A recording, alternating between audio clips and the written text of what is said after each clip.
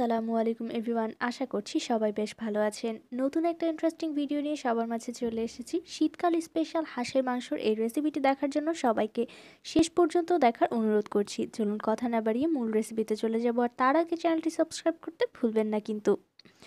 এখানে আমি একটা কড়াইতে কিছুটা তেল দিয়ে আগে থেকে পেঁয়াজটা একটু ভেজে নিয়েছি। দেখতে পাচ্ছেন পেঁয়াজটা একটু ব্রাউন হয়ে এসেছে অলরেডি পেঁয়াজটা যখন এমন একটু ব্রাউনিশ হয়ে আসবে, তখন এর মধ্যে দিয়ে দিচ্ছি তেজপাতা, এলাচ আর দারচিনি সব কিছু আমি এখানে চারটা করে দিয়ে দিলাম।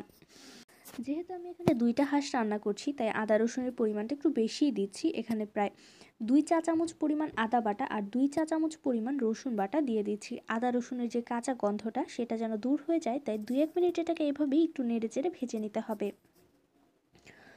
দু এক মিনিট ভালো করে নেড়ে চেড়ে যখন ভাজা হয়ে যাবে, তখন এর মধ্যে দিয়ে দিচ্ছি সামান্য একটু পানি।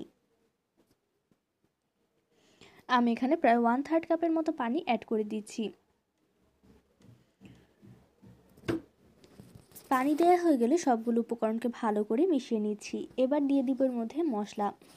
এর মধ্যে এক চা চামচ পরিমাণ মরিচের গুঁড়া, এক চা চামচ পরিমাণ হলুদের গুঁড়া, এক চা চামচ পরিমাণ ধনিয়ার গুঁড়া দিয়ে দিচ্ছি। এবার ভালো করে মশলাটাকে নেড়েচেড়ে কষিয়ে নিতে হবে। যতক্ষণ না মশলাটা ভালো করে কষানো হয়ে যাচ্ছে, ততক্ষণ একটু অপেক্ষা করে নিচ্ছি। কারণ মশলা কষানোর উপরেই কিন্তু সবসময় আমরা জানি তরকারির টেস্টটা ডিপেন্ড করছে। মশলাটা যেন পুড়ে না যায়, তাই সামান্য একটু পানি দিয়ে দিলাম। দেখতে পাচ্ছেন, মশলাটা মোটামুটি কষানো হয়ে গিয়েছে। এর মধ্যে দিয়ে দিলাম স্বাদ মতো লবণ। আমি আরও কিছুক্ষণ এটাকে এভাবেই কষাতে থাকব, যতক্ষণ না ভালো করে কষানো হয়ে যাচ্ছে। তেলটা মোটামুটি ভেসে উঠেছে আরও কিছুটা আরও দু এক মিনিট আমি এটাকে এভাবেই একটু নেড়ে চেড়ে কষিয়ে নিব। মশলাটা প্রায় দশ থেকে বারো মিনিটের মতো আমি কষিয়েছি। তো মশলাটা কষানো হয়ে গিয়েছে প্রায়। এর মধ্যে আমি ওদিক দিয়ে হাঁসের মাংসটা আমি ধুয়ে এরকম একটা স্টেনারে রেখে দিয়েছি যাতে করে বাড়তি পানিটা ঝরে পড়ে যায়। আমি এখানে দুইটা হাঁস নিয়েছি। হাঁসগুলোকে ভালো করে কেটে ধুয়ে বেছে নিতে হবে। তারপর এরকম একটা স্টেনার রেখে দিয়েছিলাম, পানিটা ঝরে যাওয়ার পর আর মশলাটা পুরোপুরি কষানো হয়ে যাওয়ার পর এর মধ্যে দিয়ে দিচ্ছি হাঁসের মাংসগুলো। মাংসগুলো অল্প অল্প করে দিয়ে ভালো করে নেড়েচেড়ে মেশাতে হবে, কারণ একবারে যদি সবগুলো হাঁসের মাংস দিয়ে দেন, সেক্ষেত্রে কিন্তু নাড়তে একটু অসুবিধা হতে পারে। তাই আমি অল্প করে দিচ্ছি আর ভালো করে নেড়েচেড়ে মিশিয়ে নিচ্ছি। ঠিক এরকমভাবেই সবগুলো মাংস দিয়ে ভালো করে মিশিয়ে নিতে হবে। সবগুলো মাংস এভাবে দিচ্ছি আর ভালো করে নেড়েচেড়ে মিশিয়ে নিচ্ছি। ভালো করে সবগুলো মাংস মেশানো হয়ে গেলে ঢাকনা দিয়ে ঢেকে অপেক্ষা করছি যতক্ষণ না মাংসটা মোটামুটি কষানো হয়ে যাচ্ছে। মশলাটার সাথে মাংসটা কিছুক্ষণ কষানোর জন্য ঢাকনা দিয়ে ঢেকে প্রায় দশ মিনিট অপেক্ষা করার পর ঢাকনাটা তুলে নিলাম।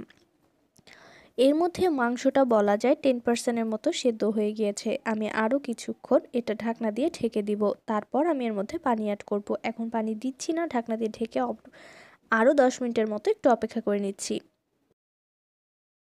ঢাকনা দিয়ে ঢেকে দিচ্ছি কিছুক্ষণের জন্য।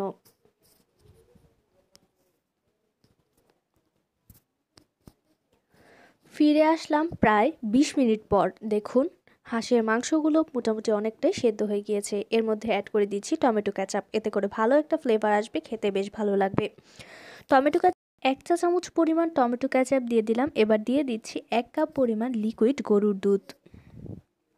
গরুর দুধের পরিবর্তে এখানে চাইলে আপনারা গুঁড়া দুধটা পানির সাথে গুলিয়ে কিংবা প্যাকেটে যেই লিকুইড দুধটা পাওয়া যায় সেটাও ব্যবহার করতে পারেন। সব কিছুকে ভালো করে নেড়ে চেড়ে মিশিয়ে নিচ্ছি। এবার আর ঢাকনা দিয়ে ঢাকবো না। ঢাকনা ছাড়াই রান্না করব। ঢাকনা ছাড়া রান্না করলে যেই হাঁসের গন্ধটা থাকে সেই গন্ধটা একটু কমে যাবে। তাই ঢাকনা খুলে কিছুক্ষণ এটাকে এভাবেই কুক করে নিতে হবে। নেড়ে চেড়ে সব কিছুকে ভালো করে মিশিয়ে নিচ্ছি। মেশানো হয়ে গেলে এভাবেই কিছুক্ষণ ঢাকনা ছাড়া রেখে দেব। দিয়ে দিচ্ছি চারটার মতো আস্ত কাঁচামরিচ। যারা কাঁচামরিচ খেতে পছন্দ করেন, তারা কাঁচামরিচটা দিবেন, আর যারা পছন্দ করেন না, তারা কিন্তু এই পর্যায়ে এটাকে স্কিপও করতে পারেন। আপনাদের টেস্টের উপর নির্ভর করছে কাঁচামরিচটার পরিমাণ। বেশি ঝাল খেতে চাইলে বেশি পরিমাণে দিতে পারেন। সব কিছুকে ভালো করে নেড়েচেড়ে একটু পরপর মিশিয়ে দিতে হবে, নাহলে কিন্তু নিচে থেকে পুড়ে যেতে পারে, যেহেতু আমি কোনো প্রকার পানি দেইনি। এই পর্যায়ে আমি এর মধ্যে পানি দিয়ে দিব, আর পানিটা অবশ্যই গরম হতে হবে। আমি এই পর্যায়ে দিয়ে দিচ্ছি এর মধ্যে গরম পানি।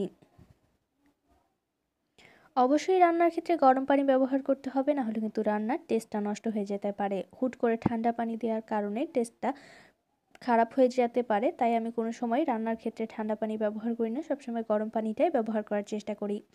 এখানে প্রায় ছয় থেকে সাত কাপের মতো গরম পানি দিয়ে দিলাম।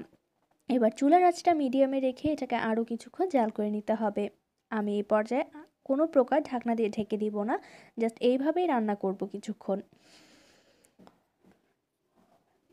প্রায় দশ থেকে পনেরো মিনিটের মতো আমি এইভাবে এটাকে কুক করে নিব আর মাঝে মাঝে একটু নেড়ে চেড়ে দিব। দশ থেকে পনেরো মিনিট পর পানিটা মোটামুটি শুকিয়ে এসেছে আর হাঁসের মাংসটাও প্রায় কুক হয়ে গিয়েছে। এবার এর মধ্যে জিরার গুঁড়ি আর গরম মশলা গুঁড়ি দিয়ে দিচ্ছি আধা চা চামচ করে। দেয়া হয়ে গেলে ভালো করে নেড়ে চেড়ে এই পর্যায়ে দেখে নিতে পারেন আপনার মাংসটা পুরোপুরি সেদ্ধ হয়েছে কিনা। আমার মনে হচ্ছে মাংসটা সেদ্ধ হয়ে গিয়েছে পুরোপুরি, তাই আমি এটাকে নামিয়ে এবার পরিবেশন করে নিব। দেখতে দেখতে তৈরি হয়ে গেল আমাদের আজকের রেসিপি হাঁসের মাংস। আশা করছি রেসিপিটি ভালো লেগেছে। ভালো লেগে থাকলে চ্যানেলটি সাবস্ক্রাইব করবেন লাইক কমেন্ট শেয়ার এবং সাব আমার পাশে থাকতে একেবারেই ভুলবেন না। আসলে লাইটিংয়ে লাইটিংয়ের একটু প্রবলেম থাকার কারণে ডেকোরেশনের সময় কালারটা ভালো করে বোঝা যাচ্ছে না। এমনিতে দেখতে কালারটা খুব সুন্দর হয়েছিল। আশা করছি আপনাদের ভালো লেগেছে রেসিপিটি পরবর্তী ভিডিও দেখার জন্য আমন্ত্রণ রয়েছে। আর লাইটিংয়ের যেহেতু একটু প্রবলেম ছিল, তার কারণে আমি দুঃখিত আপনাদের সবার কাছে। আশা করছি পরবর্তী ভিডিওতে এমন কোনো সমস্যা হবে না।